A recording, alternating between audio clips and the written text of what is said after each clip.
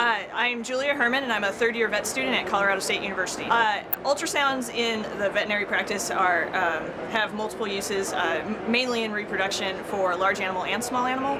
Uh, you can also assess bladder health in small animals um, while looking at in, uh, abdominal health, and also um, you can also use it in large animal for tendon injuries.